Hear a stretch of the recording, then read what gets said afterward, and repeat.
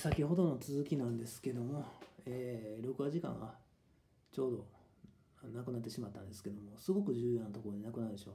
岸田さんが背中を見せてる時の岸田さんの声は真の少子化対策なんて無理だったんです。一応僕は任期は令和 7, 7年までが衆議院も参議院も本当はできるでしょっていうことを言ってるんですよ。その頃解散でしょ。1年できるって言っといて握る算段なんじゃないですか。真の少子化対策から。それだったら少子化担当大臣なんかいらないですよ。でその意図僕はピンハネされた神戸ワールド記念ホールというまあ多分ライブかコンサートだと思うんですけどもそこの会場のね、えー、撤去作業。時給1023円で募集かけていて18時に市民広場というポートアイランドのポートライナーの駅で、えー、改札口のところで来てくれっていうことで行って19時まで労働時間としてみなしてこれなくてで19時からが仕事始まりということだったんですけども交通費は1,000円です。で、えー仕事が終わったのが23時15分か30分ぐらいですねで振り込まれたお金は4900円なんですよ。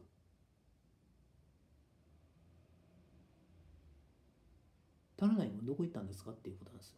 でそこで少子化担当大臣のマスクしてるからね。もうとにかく卑怯だからみんなマスクは外しましょうっていうことに昔なったんですよ。私が二十歳ぐらいの頃に。風邪だろうが何だろうがって。それ医療業界の罠だからっていうことで。その頃すぐにそれで人間の体が抗体を先に作るからそれですぐに終わりましたよその時のなんか流行りのインフルエンザ。コロナウイルスは別物かもしれませんけどもマスクすることによって抗体作った人間がなかなか抗体ばらまけないからでワクチンをずっと打ち続けて医療機関は金儲けをしていた。その被害額は30兆円を超える。多分それは世界中のそのコロナウイルスのワクチンの件でしょう。だからトランプさんは WHO にコロナウイルスが始まった時にアメリカはお金は一切払わないって言ってたんですよ。WHO はずっと本当のこと言わないから。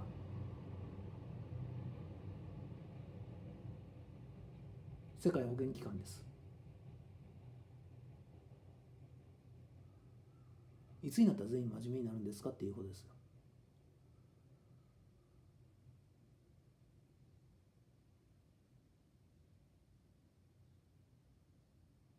明日にでも国会開いてすぐに削除したらいいんですよ、脱脂法律。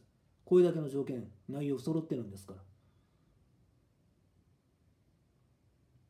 で、国会議員や大企業とかの役員とか従業員元芸能人だった人間で音楽関係の人間一体何人いたんです？で海外とかの道作ってあげたでしょ？海外の販売もそれ阪神・淡路大震災の被災者であった淡井圭介の話があるから成り立ってるんですよ。中国政府と誰が仲良くしようとしました？淡井圭介ですよ。それなかったら無理ですよ。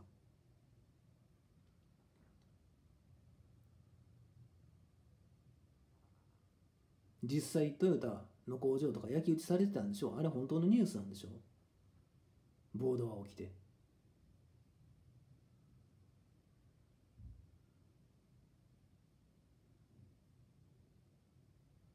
音楽業界に稼げるように仕上げたのに設営スタッフはピンハネされてる。しっかりとした給料を払わなくて。大元であるライブを開催したところの会社名そのイベント会社はオーガスタスタッフっていうオーガスタスタッフっていう会社なんですけどもともと芸能界の事務所でオーガスタっていうところがあったんですよ。いっぱいありますよ。芸能事務所を名乗ってるところなんか。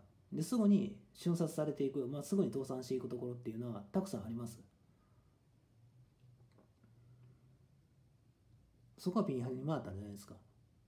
芸能界の場合はテレビ出てる人たちがあんまりにもめちゃくちゃなこと言ってるからそれは口座とか差し押さえたりするのはそれ普通だと思います。それしなかったら正しい情報が世の中回らない。真面目な人間いなくなる。何でもありの世界をまだ作ろうとしてる。ロシアとウクライナの戦争を放送することによって。で報道番組なのにスポーツコーナーの枠を広げようとする。いらない。メジャーリーグの1年間の売り上げが1兆円近くあると。日本の税金がどれぐらい流れてるんです？NHK 料金とか民間のテレビ局の CM もトヨタとか CM のスポンサーとしてお金出してるから税金ですよ。電気自動車とかに補助金つけてますから。変な CM があるか見たら分かるんですよ。そんな CM 売っても売り上げなんか上がるわけないでしょっていうような CM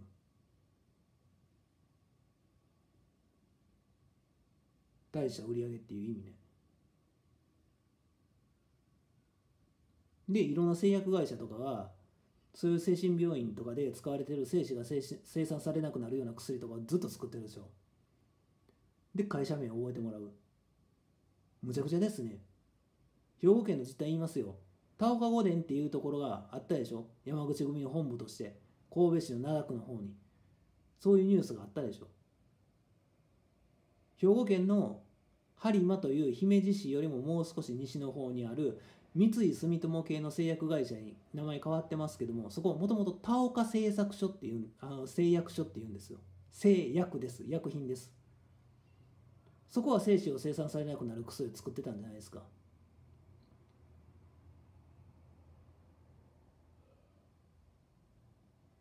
で実態はエロ業界と組んでた。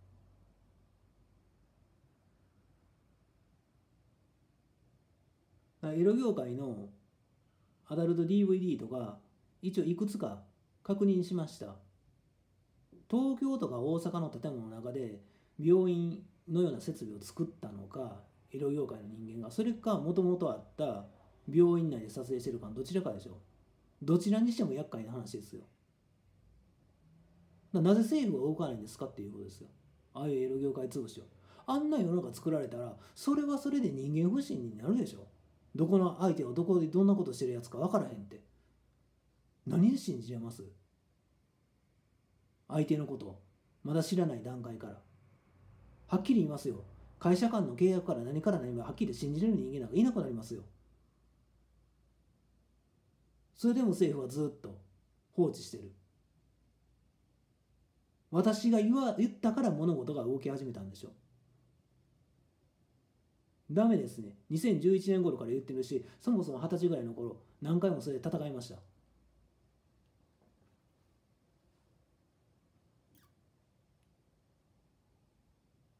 警察官が本屋のとこ全部取り締まったらよかったんですよ。DVD レンタルやも。市役所の人たちは何してるんです？自分から裁判したらいいじゃないですか。神戸市内全域神戸市市役所の人なんだから。何のための過小級以上の公務員試験を受けたんですか？世の中一般人の人たちの役に立つためでしょ。今今いる課長以上の人たち全員に言ってます。局長当然ですよ。部長もそうですよ。当たり前ですよ。しょうもないものばっかり作ろうとしてる。あなたたち本当に口座差し押さえられないと自分たちがしなきゃならない仕事分かってないでしょ。消費税3%から10%まで上がってこんなに少子化が進んで世界中で。それをまだとぼける気なんですか？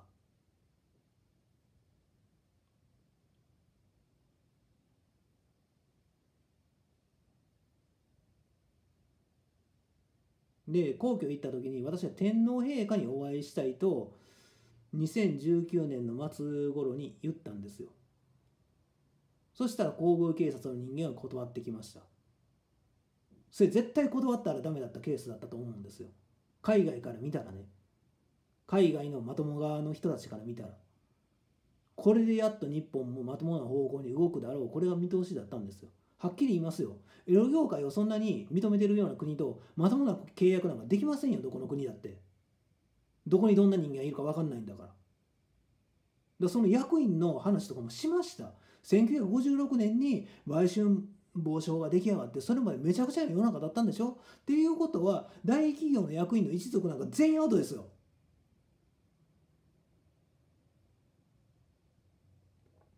そしたらまともな契約なんかできない。海外も同じような状況なんでしょ？だから海外もひろ、あのー、開き直ってるからコンビニエンスストアも大元たどったら CCC カルチアブランド名なら何だのって言って結局エロ業界だったっていうことじゃないですかそマフィアは暴力団が運営してるところですよ。で映画業界に進出してたでしょ？そこの関係者が。でやたらと肌を露出したりするでしょ？胸を一部分でも見せたら見せたですよ。まあエロ業界ですよ。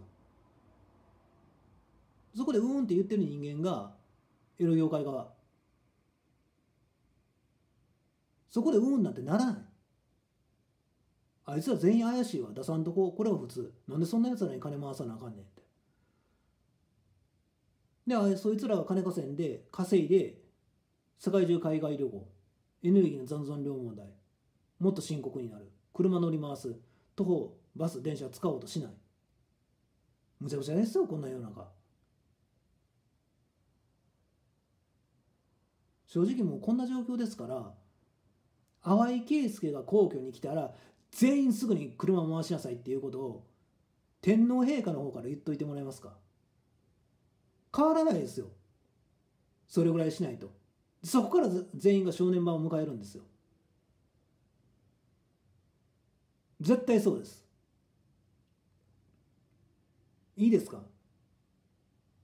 高い身分の人たち一般にいわゆる国家公、えー、国会議員の方たちとか国家公務員とか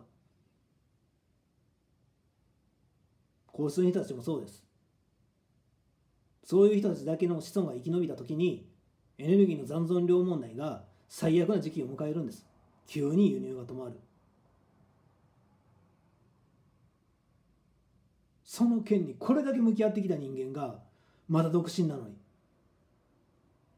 誰も助けようとしない。だから世界に助けを求めてます。どっかの国がオランダのハーグで訴えてくださいと。国際司法裁判所でそこの判決で背いたら国連から脱退させられます。多分それぐらいしないと無理ですよ。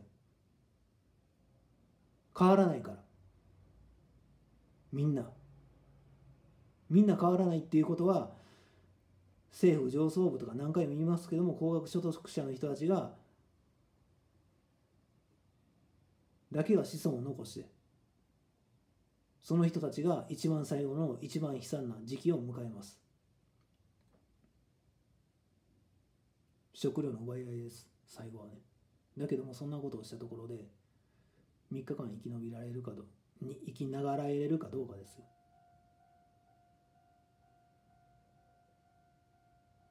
法律違反。